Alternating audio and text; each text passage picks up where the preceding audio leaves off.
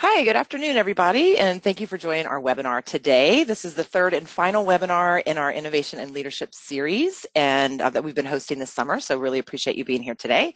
I'm Susan Schempp with the Wallace Center, and I'm delighted to be joined today by an amazing group of colleagues and leaders from the Center for Regional Food Systems, Farm to Institution New England, and the Hawaii Good Food Alliance.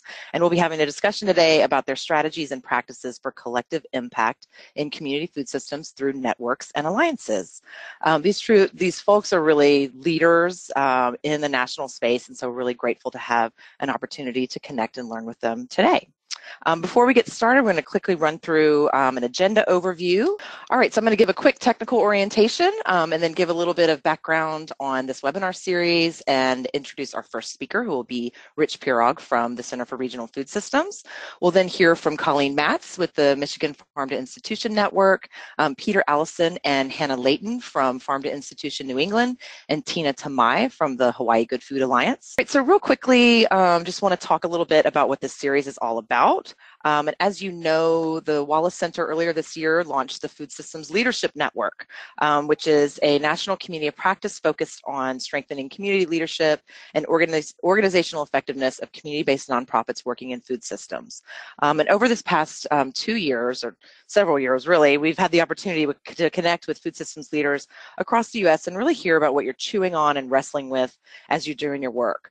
Um, and one of the things that we've heard a lot about is an interest in learning new and better ways of working and organizing and collaborating with others, um, both within our organizations and in partnership with other community organizations um, and other partners. Um, and so based on what we heard from you, we started to shape up this webinar series um, where we could explore innovations in leadership at the individual, organizational, and systems level. Um, so today's webinar is the third in a series of three.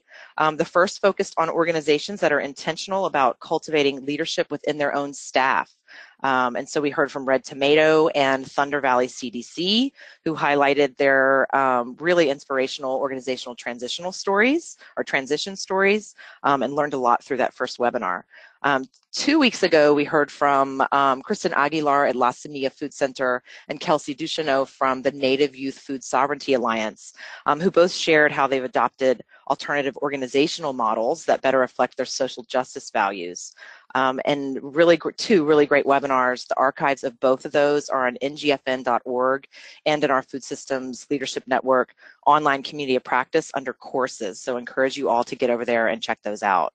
Um, and so for this, for this third and final webinar, we wanted on, to really focus on the fact that really no matter where you're working in food systems, um, you have to be able to work in partnership and collaboration with others um, and ideally strive towards collective impact.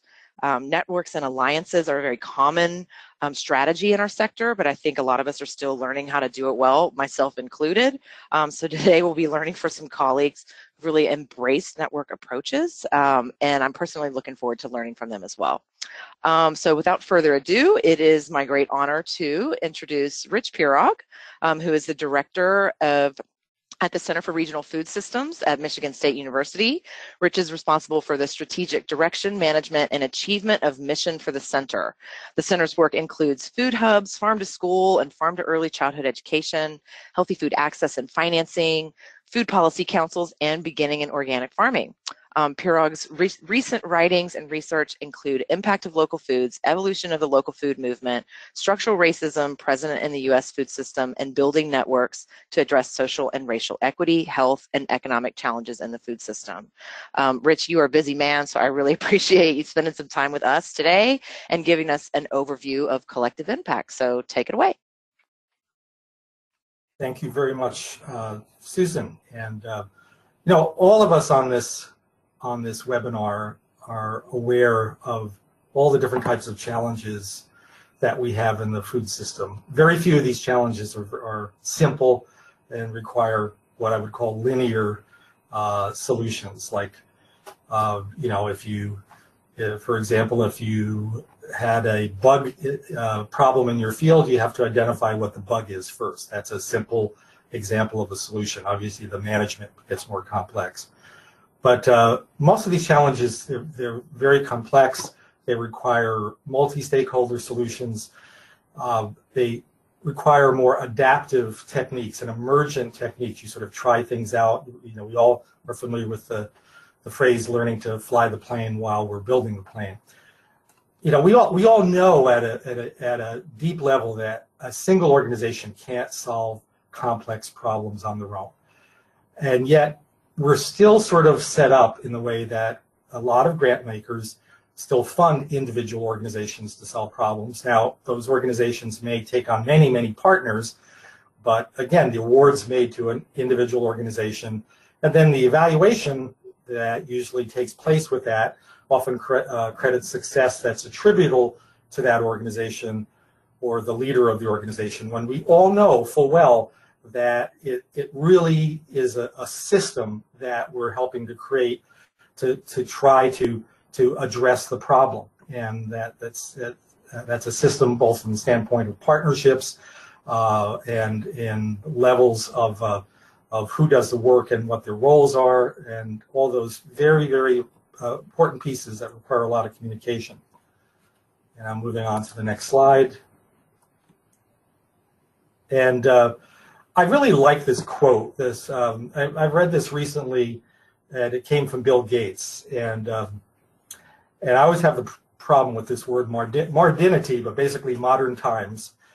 Uh, he says modern times is a miracle of systems. And we miss the progress that's happening right in front of us when we look for heroes instead of systems. Now, i am not going to throw any shade on heroes because heroes are really important.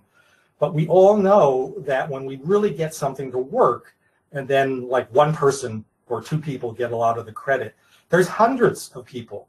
There's thousands of people that really are making that difference. And so Bill says if you want to improve something, if you want to address change, look for ways to build better systems. And that's why this idea and the framework of collective impact is so important. Um, the definition that Kania and Kramer, who uh, wrote a series of articles, I think started in 2011, first appeared in the Stanford Innovation Review, um, that really sort of reframed the idea of, of multi-stakeholder um, um, uh, partnerships.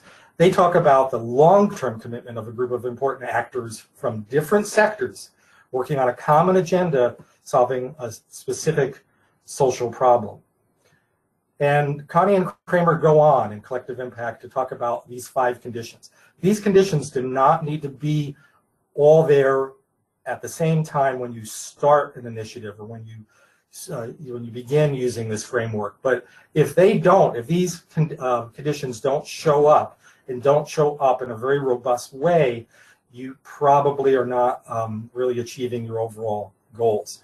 And when you start looking for problems like why aren't we making progress, this is one of the first things you would look at when you use a collective impact framework. Naming, naming that the stakeholders themselves have a common agenda, that the the activities that the various stakeholders are doing are mutually reinforcing. They're complementary. They're synergistic. You don't have folks that are sort of going out and doing their own thing or that's redundant with another organization. The communication is, is constant.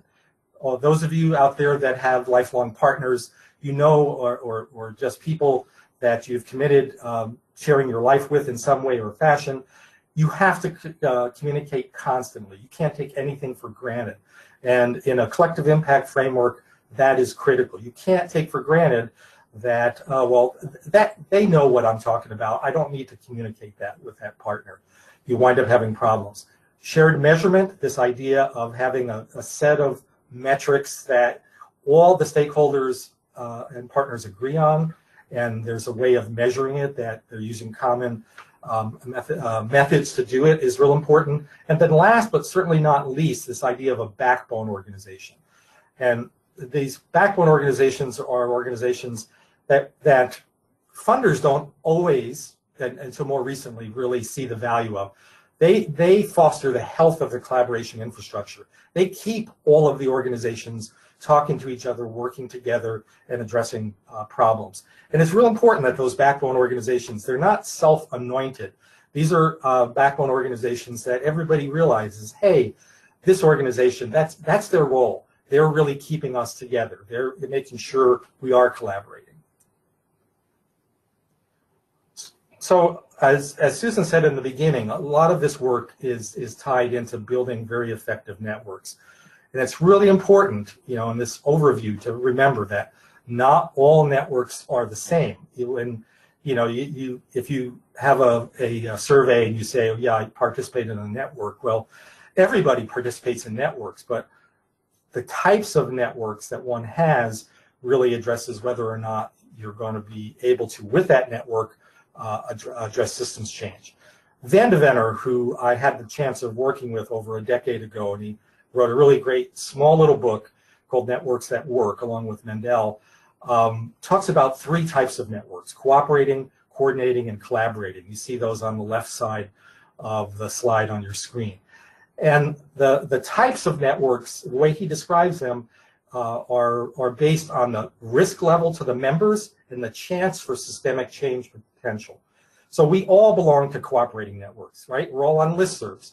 We all try different kinds of uh, learning approaches. We share information. Um, th those things are great, but in and of themselves, uh, there is there's low risk to the members and there's little chance for systemic change. You build up from coordinating to collaborating networks and you see the risk level going up higher. The higher the risk, the better chance of actually getting systemic change, right? I know this is intuitive, but it's real important to sort of see this and how it plays out in your networks. Real important, and that Van talks about that I think is critical here, is that the networks, the networks that take the most risks, that are collaborating networks, have methods in place to resolve conflicts. If, you know, people because they are people and they talk to each other, they're going to have conflicts. They have different ideas. You have to have methods to do that across your network.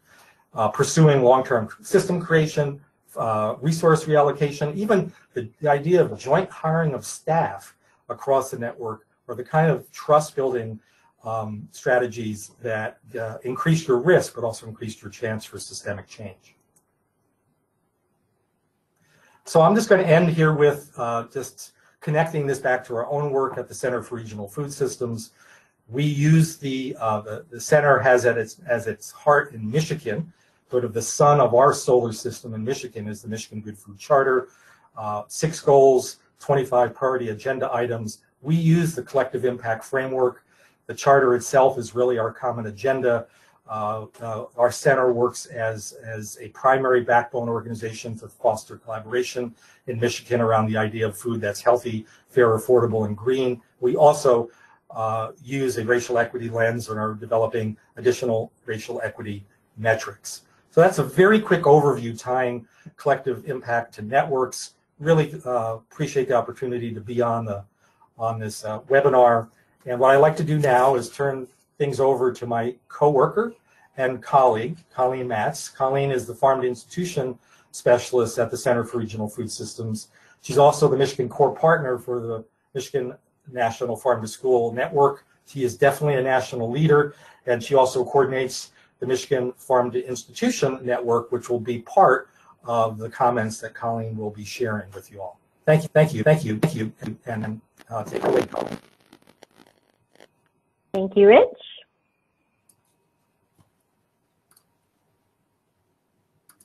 So first, I'd like to give a little bit of background and context to our work with the Farm to Institution Network. Our mission is to help reach the Michigan Good Food Charter goal of sourcing 20% of food from Michigan sources by the year of 2020. And this is one of the goals of our charter that Rich mentioned. And this one is specifically designed for our institutions in the state.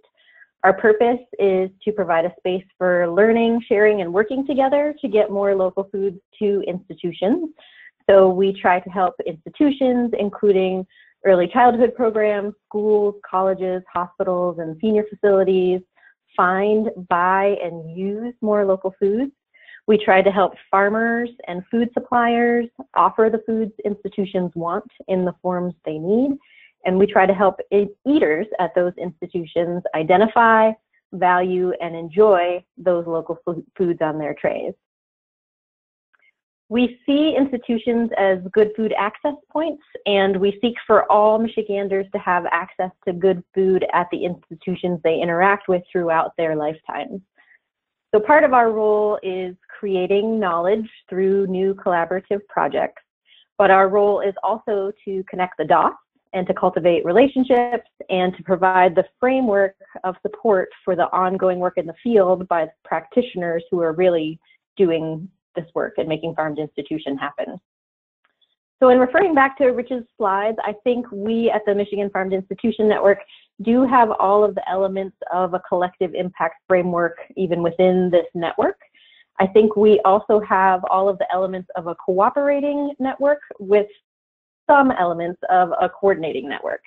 So we do engage in some activities requiring mutual reliance, but we still have some ways to go in pushing our organizational boundaries. And for those who might be familiar with the Institute of Conservation Leadership's six types of cooperative efforts, and I know the National Farm to School Network refers to these networks um, as models.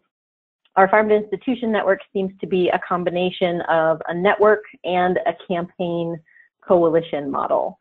So we certainly share information and learning on an issue, and in our case, that's farm to institution. And we have varying levels of investment and partnership and connections across our full membership. But we are also strongly committed to working together on a specific issue. So in our case, that's helping institutions reach that 20% by 2020 goal of the charter. Some organizations have also provided staff time to be directly involved in the work. And as you'll see, our core partners, our um, close and varied partners have collectively invested time and finances into developing and sharing tools and resources towards that goal.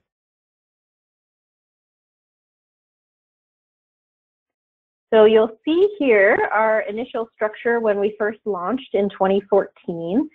The Farm to Institution Network began as an effort to work across institution types after we here at the center had developed a wealth and breadth of experience in farm to school and some colleagues of ours at the Ecology Center, which is a nonprofit based in Ann Arbor, developed the same with Farm to Hospital, and that was primarily through their role with healthcare without harm here in Michigan. So initially when we launched in 2014, we were co-led um, by myself and the Ecology Center, and we would meet on a weekly basis between us co-leads. We have uh, we had a management team of center staff, the Ecology Center staff, and MSU Extension, and altogether that was about uh, five and a half folks, um, but definitely way less than FTE. And these folks all provided some of their time to operations, and we would meet every other month we have an advisory committee um, that continues today with farm to institution practitioners from the field. We had just uh, eight members then, and we met with them on a quarterly basis to provide feedback on our plans, direction, and ideas.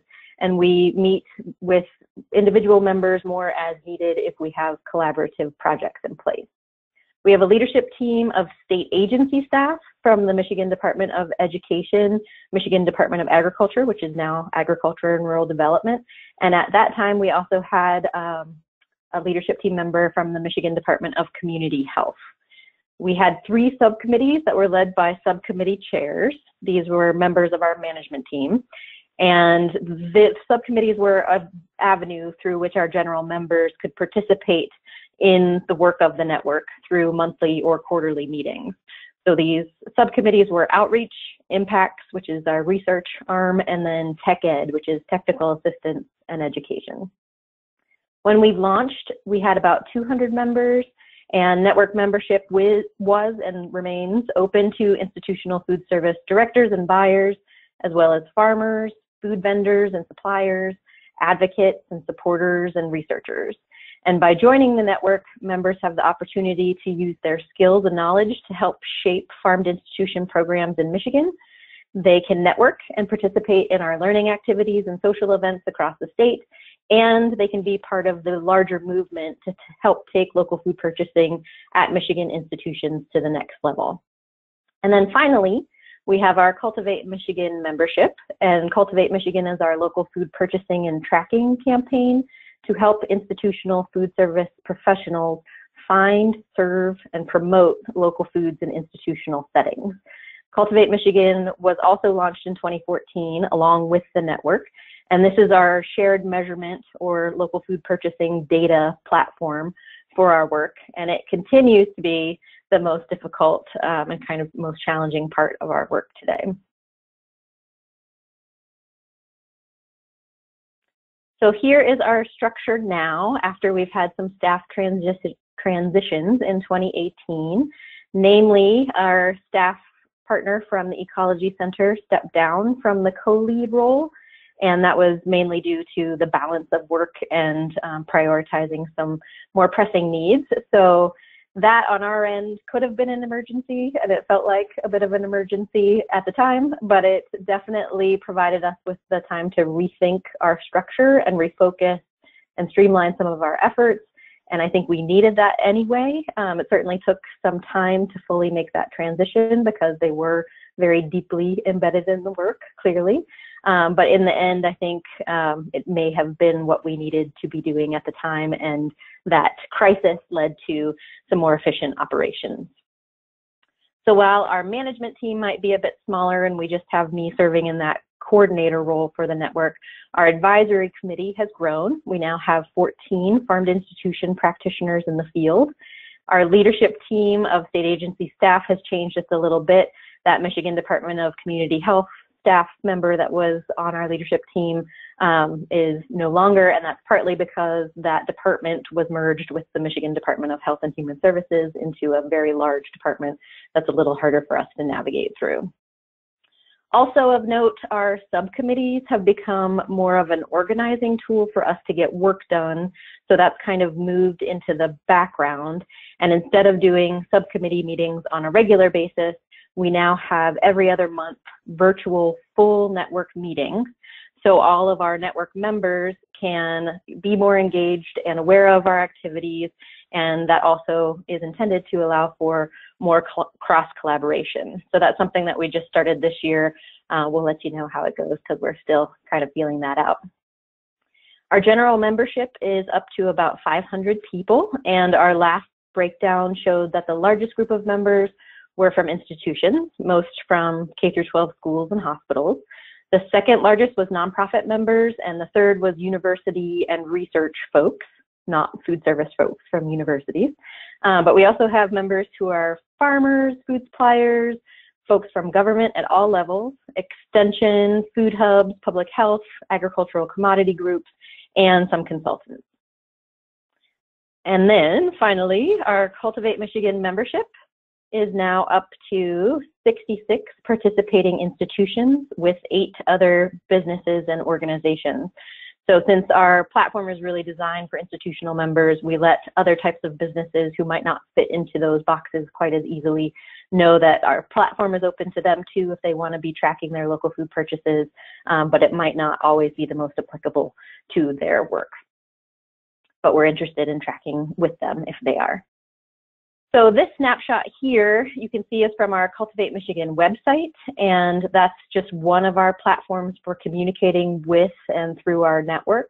We also have a network landing page, a Facebook page, and a Twitter account, and we use constant contact for email blasts and e-newsletters, and that was something that we actually had to shift over from the Ecology Center to the Center for Regional Food Systems.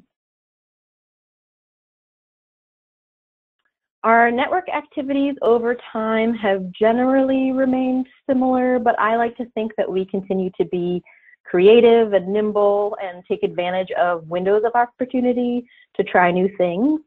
And we delegate as much as possible within the network. And we, when we try to do that, we really mean it. And we try to hold ourselves and each other accountable, which is sometimes a challenge. We collaborate and partner on just about everything we do. So while that might take more time and planning, um, it always works out to our benefit. So we definitely mean it when we say we are a good partner. And we prioritize sharing the stories of the practitioners in the field. So this is just a sampling, but here are some of the things we've tried. Our seasonal featured food promotions and education are an ongoing activity for Cultivate Michigan, and I think at this point this is one of our signature activities. We feature seasonal foods, um, seasonal Michigan foods, and we've been doing so since 2014. So at this point we've featured 18 seasonal foods, And we recently released a Cultivate Michigan sourcing guide that lists availability of all these foods by vendor, and that's their local availability, of course. And we um, used to do that on a food by food basis. So that's something that we've streamlined along the way. Along with these promotions, we also host Cultivate Michigan tours, including a couple in partnership with our Michigan Meat Network. These tours are a way for food service professionals to learn more about their local food system, but we have also found that they are a better way to engage with agricultural commodity groups. So that's been an interesting byproduct of these tours. We've also assisted in promotion for events that highlight our featured foods. So that includes Michigan Apple Crunch, which happens every year in October, and the Michigan Cherry Slurp, which is a new event as of a couple of years ago in February. And both of those are led by Cherry Capital Foods, which is a local foods distributor food hub here in Michigan, and we support them in that effort. We host joint network meeting with the Michigan Food Hub Network. And most recently, we all together with the Michigan Local Food Council Network hosted a joint network action meeting, which was intended to be more of a day long working meeting between and across those three networks.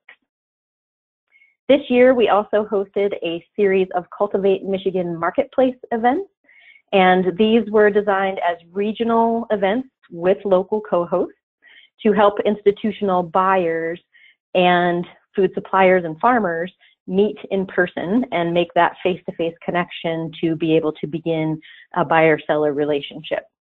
And this was possible through a USDA farm to school grant that we partnered with our Michigan Department of Education and Michigan Department of Ag and Rural Development staff on.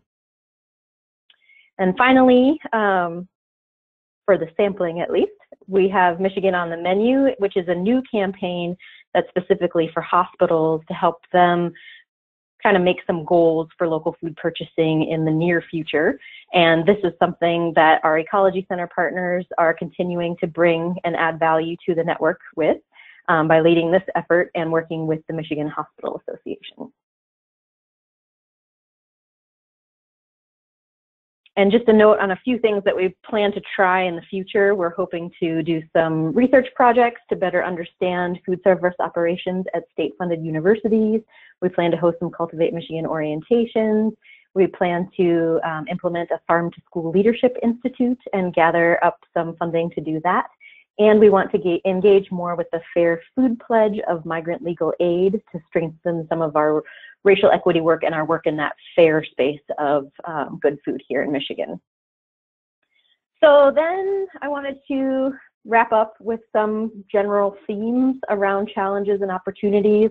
And it's hard to summarize, um, you know, many, many years, at least four years of experience into just a couple of buckets and I think challenges often can make for new opportunities, and new opportunities can then make for new challenges. So they kind of loop on each other. But from my experience, those major themes are kind of in the practice side of the work and then also in the coordination side of the work. So out in the field, we have um, food systems development, which continues to be something that we're all working towards and um, is something that we have to work within. So we have institutional demand that can certainly help drive food system development, and it's done so here in Michigan, including with companies like Michigan Farm to Freezer. Um, but buyers are always seeking more local foods in the forms they want and through the channels they need. So that's kind of a constant push-pull. And then buyer and seller connections, they seem to be best made on a one-on-one -on -one basis or face-to-face, -face, so that certainly takes a lot of time. Um, and that's something that we rely on a lot of our local and regional partners for throughout the state. And we have a particular challenge with transience of school food service directors moving around. So because of that challenge, we have a, more of a focus on regional network development and an emphasis on farm to institution teams and local partners. And then on the coordination side of things, when you're working as closely together as we were and are with the Ecology Center, MSU Extension, and some of our other partners, there are always challenges embedded in that partner development and things like professional development and accountability and staff transitions are challenges that you have to work through. And especially since you are working from different organizations and don't have any supervisory power over each other, um, then you have to really focus in on that self-accountability and accountability to the group. So to help address some of that, we've developed and update SOPs, standard operating procedures. We try our best to regularly make space for leadership development and delega delegation. And we have developed extensive and varied partnerships so that when different needs and opportunities come up, we can take advantage of those. Finally, on the funding note, um, as Rich had mentioned before, it's hard to get funding for network activities and development as such, and we've only been somewhat successful in seeking grant funding. I think our work is complicated and how we do it is kind of complicated, so it's a little hard to explain. So we try to keep the context very simple, ask for funding for small bits of the work that are easier to explain from traditional funders at least, and to get creative, either with funds that we happen to have access to or through partners um, that we can gain access to. And we've had some good success with that with some agricultural commodity groups that we wouldn't have expected to be such strong partners, including the um, Cherry Marketing Institute, who funded a uh, promotion of our cherry materials and got those out to all of the schools and hospitals in the state. And finally, and in summary, it's that big picture that's sometimes hard to keep an eye on, to keep your sight on, and that's what's most important.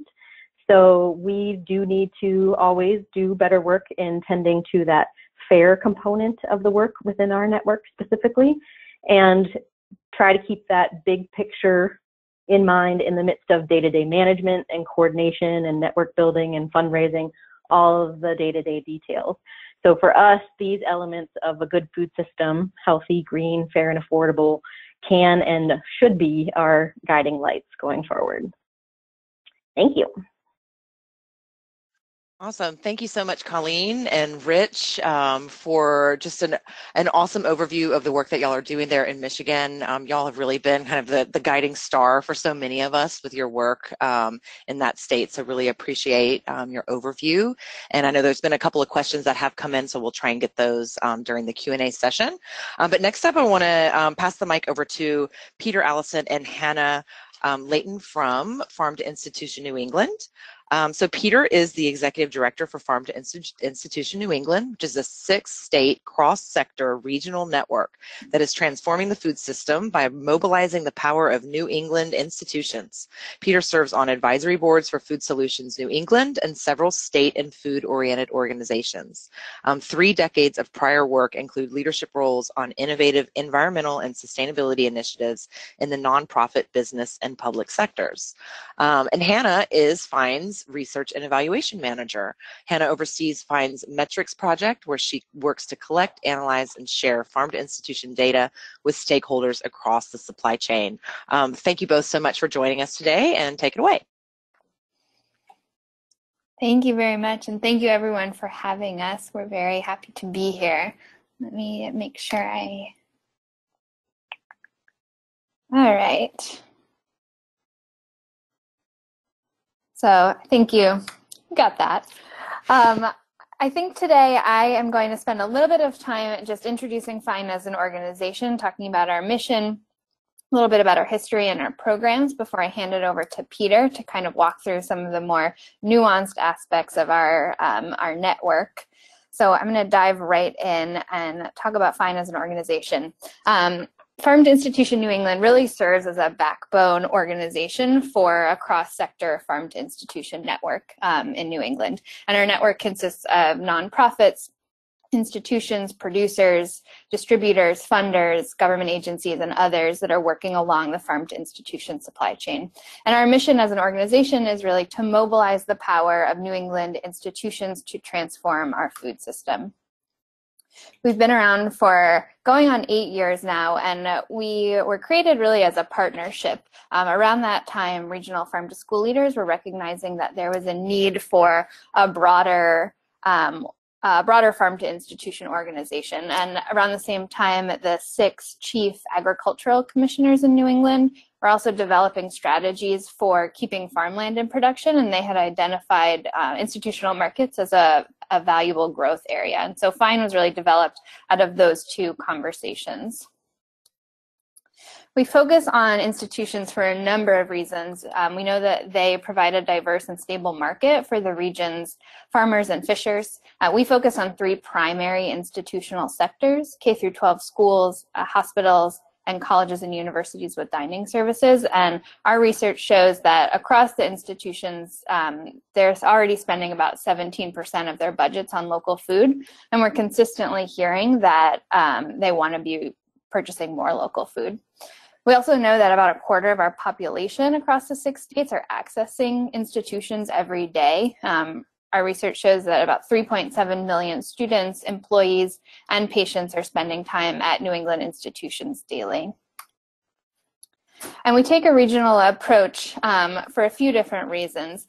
Probably the biggest one is that the six New England states are pretty small. We have a shared history and culture, which lends itself really well to collaboration. Um, we also see a, a bit of an imbalance in terms of the northern New England states and the southern New England states in terms of producers and consumers. So the northern New England states have uh, more producers and less consumers, whereas the southern New England states have more consumers uh, and less producers. And we also see that um, distributors, food service management companies, and others that are working in the middle of the supply chain are often operating across those state lines as well. As I mentioned, we focus on three primary sectors, K through 12 schools, colleges, and hospitals. Um, and we're always exploring ways to support other institutional sectors as well, um, including the um, corrections sector. So when we look at New England institutions, we're talking about about 4,600 K through 12 schools, 210 colleges and universities, and 256 hospitals. And we have about 35,000 farms across the six states. So figuring out how we can connect those institutions with those farms is what we're really all about. And before I hand it over to Peter, I'll just give a, a little introduction to what we what we offer as an organization because we we have our hands in a lot of different areas. Um, so our three primary network services kind of fall under these three buckets. Uh, events and trainings, communications, and research and metrics. Our biggest event that we host is our biannual Farm to Institution Summit. Uh, our third summit is coming up this April at the University of Massachusetts Amherst, um, and that brings together about 500 stakeholders from across the farm to institution supply chain for workshops, trainings, sessions, field trips, networking opportunities, and a lot of other activities. Um, and then we also host um, smaller trainings, workshops, and um, statewide events as well. Um, we put a lot of work into our communications platform.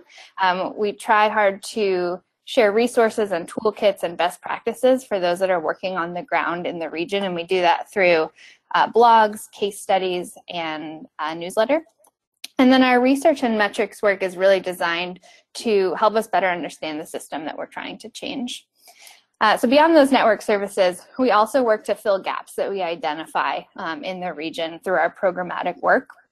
So a couple of examples of some of our programs are the Farm and Sea to Campus Network, which was developed because we saw that there were backbone organizations supporting farm to school and farm to hospital in the region, but there wasn't really an organization that was doing that same kind of um, support work for campuses. And so FINE now serves um, as that kind of backbone organization for Farm and Sea to Campus in the region.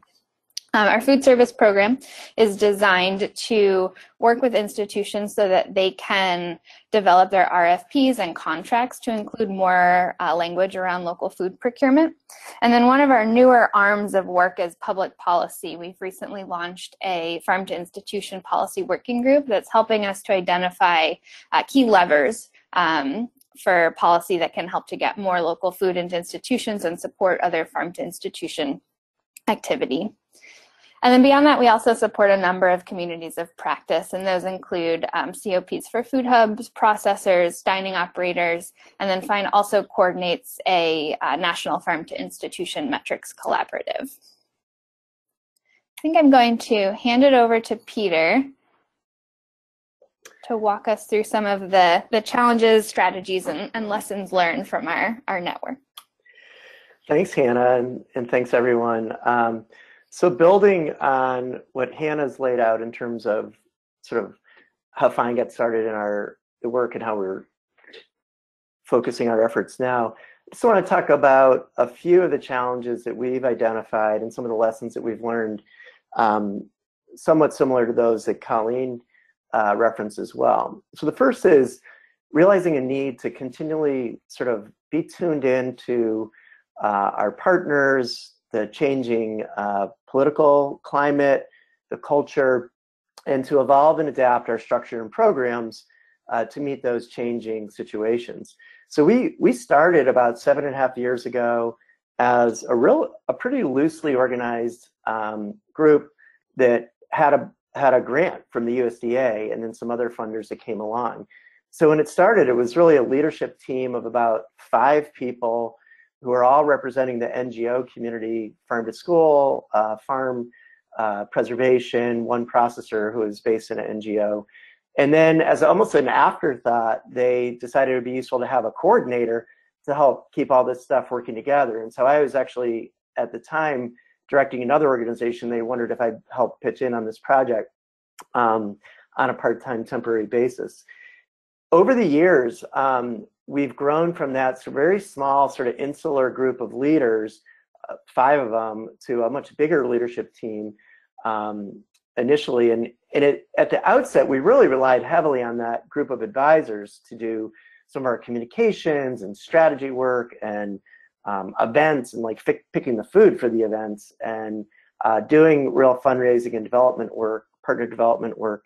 Um, so much so, we relied on so much so that we actually uh, contracted with them and paid them a stipend to help them justify their all their involvement outside of their day jobs. And over time, we've added staff in some of the areas that Hannah's mentioned in terms of communications and events coordination, metrics, now policy, as well as some of that programmatic, programmatic effort. We realized that the small team of advisors were really being stretched beyond their bandwidth. And at the same time, we switched fiscal sponsors who felt that um, we really needed all of our staff to be hired as employees and that we couldn't compensate uh, advisors on our board. Um, and it made sense for us at that time to sort of switch to a much bigger group of advisors. And so we've gone up to a 18 person network advisory council. And moving from a very small insular group to a, um, a bigger group that didn't have as many connections. In fact, we did an RFP, an application process and got a lot of people applying to be on our advisory council who we didn't have strong connections with previously. And what it meant is that we actually brought in a much more diverse set of perspectives, um, which had its own challenges. But the upside is that we have a ever expanding network of partners who we connect with who are food service directors, supply chain, um, business leaders, um, funders, as well as still folks in the NGO community. So that's been an, um, extremely valuable for the whole Network Advisory Council collectively, um, as well as a lot of the advisory groups we have on particular committees guiding um, programs. Um, go ahead and switch to the next slide, Hannah. The next challenge um, really relates to how we balance our different roles that Hannah mentioned. So our core function is really serving as the backbone for the farm to institution networking New England. Um, the communications, the events, the metrics, and now the policy work. But as mentioned, we also are working to play key leadership roles on programs that we think are have been brought forward by partners as gaps in the supply chain and that other partners are not currently filling. So as Hannah mentioned, there's a bunch of those. And then obviously, we do also have a need to keep ourselves um, funded and supported and, and connecting so dealing with you know staff issues and um, administrative issues, development work, all those systems that we need to put in place. The key thing that we really try and do is make sure that these different roles really sort of reinforce each other. So we don't want to take on leadership of some program that's going to take resources away from supporting the network as a whole, but rather we want to develop programs that will help inform the broader network strategy and really hope that the network strategy provides lessons that can be applied with direct programs. Um, so for example, we have a farm to and city campus network um, that's looking at sort of broad strategies for everything from tracking and evaluation to student engagement to working with campus farms uh, to thinking about menuing to support the supply chain. And the strategies and webinars and lessons that we learn then are applied to a different program that we have called Campus Food Shift that works with just a handful of campuses each year on almost an individualized um, consulting basis. And in turn, the lessons there get fed back into the network strategy. Another example is the summit that Hannah mentioned, where we're hoping that all the programs that we and many partner organizations are leading will be showcased and um, discussed and worked through at the Farm to Institution Summit. And at the same time, the summit is an incredible opportunity for us to broaden the network, the number of partners, the folks that are involved, and to raise the revenue to help support the work moving forward. So keeping those, um, working to make sure that all these different disparate efforts reinforce each other is really critical. And at the same time, to make sure that we're not doing stuff that uh, interferes with any other work that our partners are doing. Because at the end of the day, we are functionally, we are essentially a network backbone organization that's working to support all the entities that are striving to support farm institution in, in the region. So then just my, my last slide talks a little bit about how we deal with um, lots of competing demands for our interest and efforts. Um, you know, as Hannah mentioned, we we focus on the three um, main sectors of schools, colleges, and healthcare, but there are other sectors that could use our network and programmatic support as well. And as she mentioned, we're starting to look at the corrections sector right now in a deeper way. We also are asked to get involved in issues that are not as directly related to procurement, but for example, food waste. And supporting food waste helps save funds that can then be directed toward buying more local food. Um, we did a project last year that looked at what's the potential of food hubs to support the farm to institution um, sector, the farm, institutional supply chain. And one of the things that we do when we're thinking about these different opportunities that come along, either from a funder or a partner or some other entity, is we use this strategy filter where we look at what are the key things that we want to make sure we're advancing in terms of our mission, our geography of the six states, the sectors that we focused on, um, building the network and stakeholder awareness, and do we have the staff capacity or is there a budget to support it? And we've created a rubric that helps us evaluate these opportunities on these different lines and actually come up with a score for whether or not it makes sense for us to pursue it. We don't hold ourselves fast and tight to that rubric all the time, but it's a really useful guide to help us um, avoid uh, the opportunity that I just think it's a really cool thing for us to work on, or that some funder thinks it's really something we should do. And it helps us sort of keep our integrity and, keep our focus on the stuff that we've decided through our strategic planning process is really the core work that we need to do. So I think um, with that, I will turn it over and look forward to questions at the end.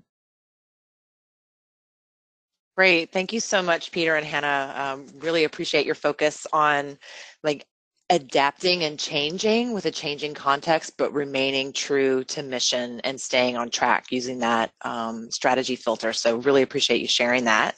Um, and so finally, and last but not least, um, we're going to head way out west to the Hawaiian Islands um, to hear from Tina Tamai. Um, former SNAP Education Program Manager for the Hawaii Department of Health. Um, Tina Tamai fostered the growth of an effective community-based food systems network through her position while at the state agency. Um, she continues to coordinate Hawaii Good Food Alliance activities with the help of a task force team and is currently a Robert, Robert Wood Johnson Foundation Culture of Health Leaders Fellow. Um, Tina, thank you so much for joining us today and sharing the work that you're up to um, out there in Hawaii. Thank you so much. I'll start by telling you a little bit about the Hawaii Good Food Alliance and then talk about the process of our evolution and how we got to where we are now and end with the lessons we learned while going through this process. So the Hawaii Good Food Alliance is basically a network of communities. Um, so our mission is to increase food access and promote health eating in low-income communities in Hawaii. And the basic premise is that this mission can be accomplished by establishing effective um, food systems developed by the communities themselves. Because we strongly believe that communities and their leaders know best what works and doesn't work in their communities.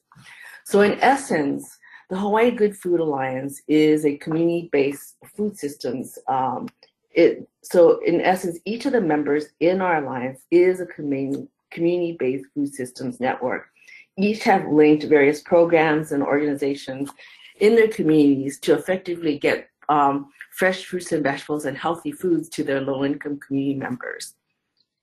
The alliance was organized to support the, these communities in their work and to link and knit these leaders together so that they could share resources and ideas and to build capacity. And at the same time, allow us to coordinate food systems across the state to better create um, a more effective food system statewide. So essentially, the our alliance is a network of networks, um, networking for change on a larger scale. This alliance is actually coordinated and supported by a task force team, which we formed to serve as a backbone for this alliance group. What I want to do is really talk about, um, to start with, what makes this alliance group work. And basically, it's the people. The people, the membership of this organization basically have the same values, the same high level of commitment, and basically work the same way. They're all underground leaders who work behind the scenes for the good of their community. But we also have are very good relationships amongst all of our members um, because we have made sure, and we spend a lot of time making sure that everybody is on the same page. And we're constantly facilitating relationships, checking in to see what people are thinking or doing, and making sure that any misunderstandings or concerns that arise are addressed. And as a consequence, what we find is our alliance has a group mindset. Although each of our individual members are extremely strong leaders, they have a group cause mindset because we know that in order to make change on a bigger level, it takes collaboration and respect for one another and this reflects an authenticity and sincerity about the work that they're doing in their communities.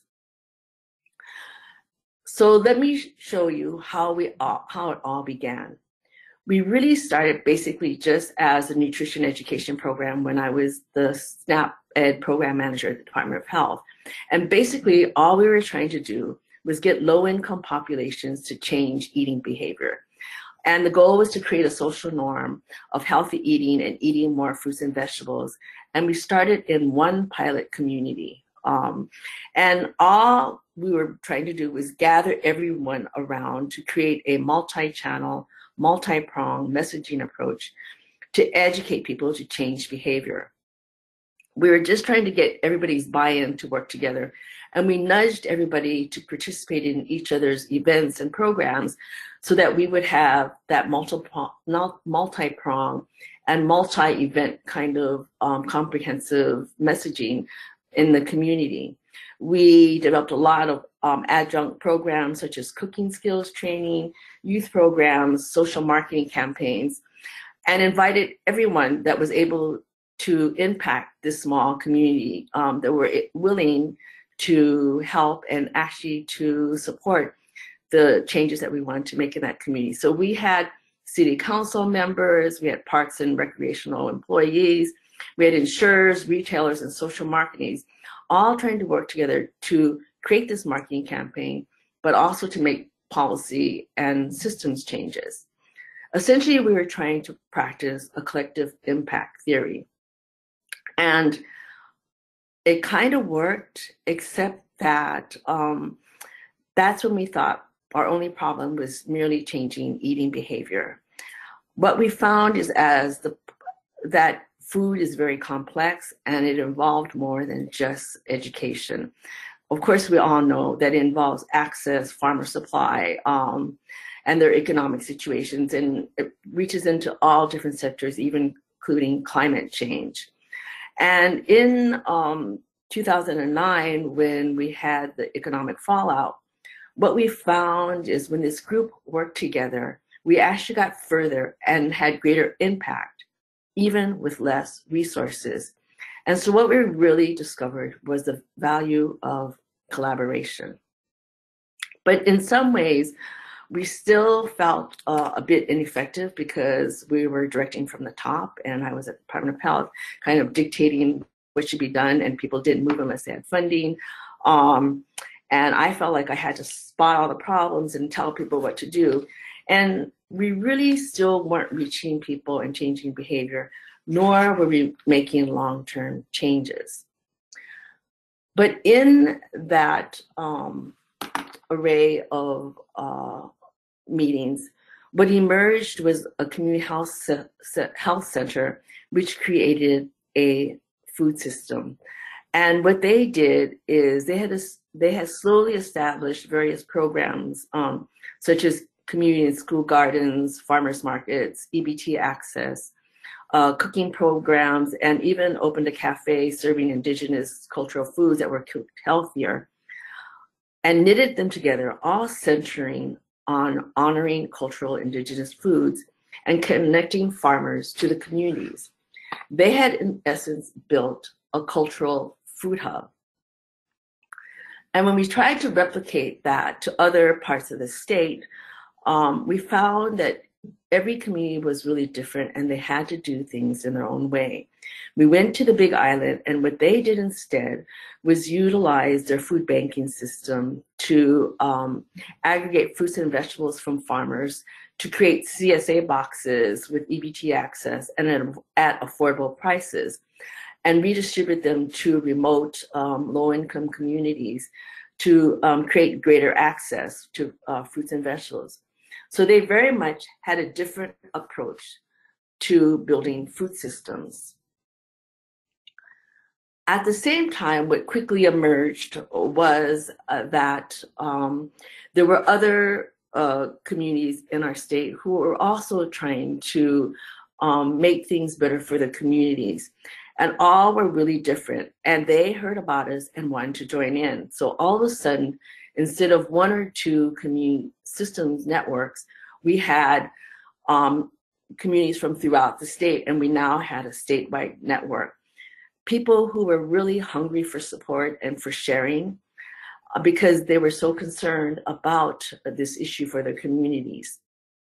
At this point, we had a mix of the key community leaders, in addition to the adjunct um, partners and organizations that we had started up with, with the pilot project. Um, and what we found is that we wanted to make a difference and to have an impact on our state system and really to keep people's interest. We had to allow each community to do their own thing. And remind you at this point, we still had a one person backbone this time, now trying to man um, a multiple community statewide um, coalition. And what we started to realize is it was getting very complex and it needed uh, greater expertise than a one person public health person. And that's the reason why we started to form a task force team to guide and coordinate the network. So we, I uh, tapped some of the funders that I had worked with, before, uh, some of the contractors we had worked with uh, previously to form a task force team to include expertise in agricultural sustainability, financing, food banking, food security, and um, with community and political reach. What we had at this time was a network, but we really didn't know how to utilize or harness the power inherent in, in network strategy. And it just so happened at that point that a facilitator group that is highly respected in Hawaii joined our group and really started to provide their expertise. And they provided an outsider view. And what they were looking at was this hodgepodge of networks um, and trying to figure out and trying to advise us how we could be sustainable and to keep the momentum. And after much discussion, what we decided to do is regroup and rethink how we were structured. Um, so what we did is we we went back to the beginning and looked at what was really the core of what we were trying to accomplish and what we were really trying to support. And that was community based food systems where community leaders were building distribution systems, connecting farmers to community. And that is where we're at now. We now have a base of eight key communities and the leaders of those communities meeting on a regular basis. Um, this is our core membership at this moment. And what we're also trying to do is shift our leadership from the backbone to the core members themselves so that they are the ones that are leading the charge and deciding what direction or what kinds of strategies we should be implementing. And what we found with this result was that now our alliance is much more laser focused and is really a much stronger group with more specific targets. And what has happened is the alliance feels um, that they feel so much stronger of about the group that they have formed that it's renamed itself from being a network to an alliance because they felt like they wanted to take more of an activist role. They weren't networking just to share resources any, anymore.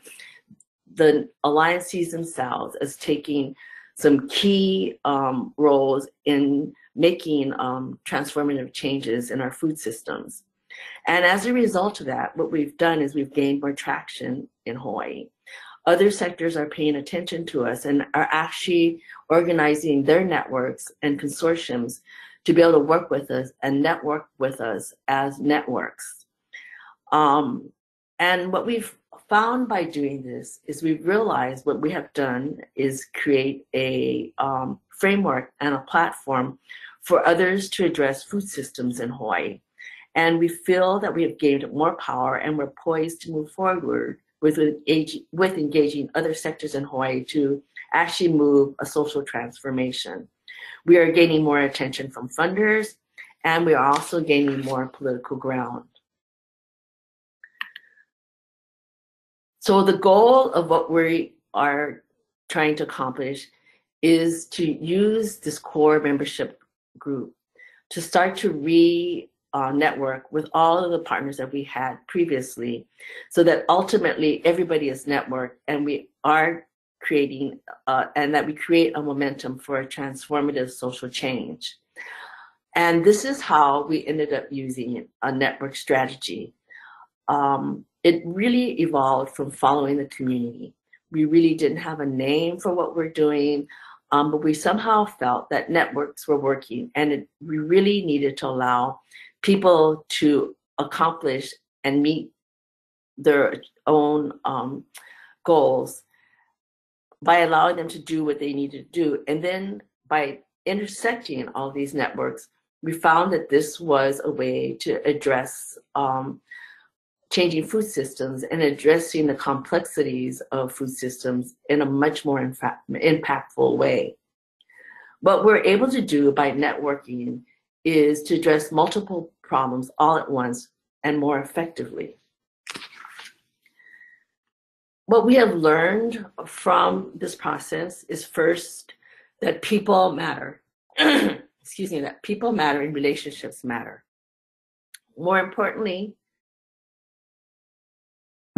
as these relationships work together, the alliance and the group has to main, stay focused on a narrow mission and we had lots of different um, members and a lot of different um, sectors involved. Um, it was harder to stay focused and make something happen, to actually make something um, achievable, uh, uh, achievable happen to go forward. So the thing that we learned is you have to narrow your mission and really stay focused on that mission and really at the same time listen and follow what communities are saying and to evolve and be flexible when you see that there are changes or that when the environment changes. It's a long process and it's something that people have to expect um, to stay committed to, um, to stay in for the long haul. There is so much to do, What we also need to do is allow others to share in that leadership and not just be one sector or one organization um, leading the charge. By doing a network theory, what we've allowed people to do is actually move forward in their own direction in multiple dimensional ways. And by keeping clear and constant communication with each other, these networks can work together and really expand exponentially. Operationally, what we found is it's important to have a backbone glue, whether it's one person or one team, because this is the glue that coordinates and um, gets the group meeting on a regular basis and really moves the communications and makes sure makes sure that everybody is on the same page and working together. What was nice to have in in our particular situation was to have a facilitator um, that was able to act as a third party to um, kind of give us feedback what was of what was happening in our group and in our structure and at the uh, same time act as kind of a um, mediator to um, get a neutral view of what uh, members were thinking about how the group was being led or the direction it was going. Some of the challenges we do face um, in uh, networking is that uh, is finding funding. Um, when we first started, there was no funding for meetings or funding even for coordination of networks. More recently, I think this has um, become a more um, acknowledged um, strategy, and there appears to be more funding for this kind of work. Um, the other thing is keeping the momentum of the network. And that takes keeping an eye on what is going on within the organization. And also at the same, same time, keeping an eye on what's going on in our surroundings, our environment, for any changes or potentials for opportunities um, for partnership. And also um, to keep an eye on uh, how we need to change in order to uh, be able to work in a changing environment. Um, the last challenge that I think that we are starting to um, experience is that because the network is expanding so much, um, there is a potential for duplication of work because we have we're finding other um, organizations and networks who also are trying to do the same thing, and um, the challenge now is to define roles and partnerships so that people are working on in their own networks accomplishing the kinds of goals and missions that they have set out and yet be able to network on a larger on a larger level so that there is a um, a greater impact.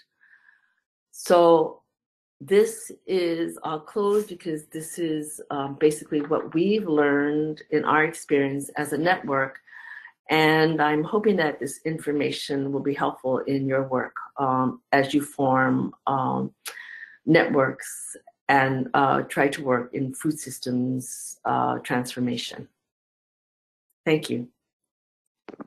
Great. Thank you so much, Tina. Um, I'm going to ask the other presenters to, to quickly put on their, um, their webcams so we can see your beautiful faces. Um, we've gotten a little tight on time today, so I'm just going to ask one quick question um, and ask you to um, leave, you know, our, our participants today with just a couple of words of advice or guidance um, for those out there that are working, you know, with and through networks towards collective impact.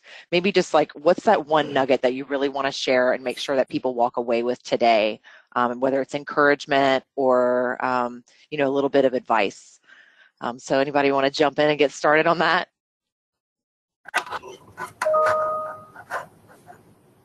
I can. Thank you, Tina. I, I think one of the things that we found key for this, for all of this networking, is really making sure that um, everyone has good working relationships, and the backbone or somebody has to constantly um, keep check of the people involved and making sure that um, any concerns and issues are addressed and that there's communication between all of them so that they are networking and working together. Mm-hmm. Yeah, that was definitely a theme that came through in all of your presentations. So um, thank you for reinforcing that. Others? Uh, this this is Rich Pirog, and I just would um, build on what uh, Tina said, and but all five of those conditions uh, for collective impact are really um, are really critical, and um, they, they, you should be looking at the presence of all of those um, in in your work, um, and it's it is another test of how good your your partnerships uh, are if you've got all five of those conditions present. Thank you, Rich. I'd pipe in from New England where we have a lot of stones in the fields and uh, say leave no stone unturned. It's incredible where you'll find uh, partners and people, potential sources of ideas, inspiration, revenue um, that can become part of that network. Um, and you can also use the stones to build a wall. So that would be my two cents. Nice. That Colleen? sounds very profound. It's hard to follow up on that.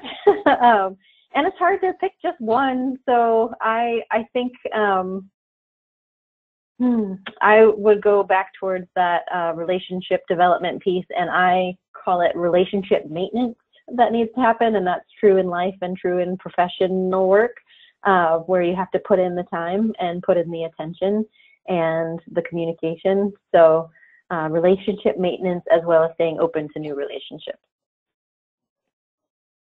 Great, thank you. Hannah, any last words of advice? I would just encourage everyone to keep looking for that sweet spot of knowing kind of what your role is and what your function is as a as a network, but also knowing that that involves some fluidity and flexibility based on all of the other people that you're you're working with. Great. Well, thank you all so much for spending time with us today and sharing um, both the work that you're doing and um, the lessons that you've been gleaning with the rest of us. Um, it's really been a fantastic presentation today, so thank you. Um, Hannah, do you want to quickly tell folks about um, some upcoming webinars that y'all are working on? Yeah, I'm excited to share that we have a webinar series coming soon from the National Farm to Institution Metrics Collaborative, and we're partnering with the National Good Food Network um, to put this webinar series out. And as I mentioned before, we're part of this collaborative. There are about 30 members from across 20 different states, um, including Michigan Farm to Institution and the Wallace Center, um, and some other national organizations. Um, and we're really a group of organizations that are working to track and measure the impact of the institutional market. Um, and so we do that in a couple of different ways, and this is a new platform that we're we're um, we're excited about, and we're going to focus on four main tracks, and we'll have short mini webinars within each track, um, and each webinar will represent a different member of the collaborative. So it'll be a really um, interesting way to see what's going on in different parts of the countries, in different sectors, and at different levels. Um, so stay tuned for that. And if anybody has any questions, um, please feel free to, to shoot me or Colleen an email. Great, thank you. And we'll be sure to promote those um, through the Food Systems Leadership Network as well. So um, don't worry, listeners, you will be able to find out about these when they're happening. Um, and I know the Wallace Center has a couple of other upcoming um, webinars, mm. specifically this Thursday. There's one on value chain coordination and that VCC series. These have been really excellent. So check that out. National Farm to School Network has um, some great content coming out for National Farm to School Month next month in October. Um, so another webinar on Thursday. So it'll be webinar Thursday this week. Um, and also just wanted to point out there's a really great event happening up in Minneapolis, Minnesota on October 10th. Um, that's a incubator and commissary kitchen summit. So definitely check that out at the nickkitchensummit.com. Um, and that's all our time for today. So thanks everybody for joining us. Have a wonderful day and let's keep this conversation going around um, network development and cap, co collective impact. I think there's a lot of interest um, from our community here to learn more. So we'll follow up with some opportunities just for continued dialogue and discussion. So everybody have a great day. Thank you.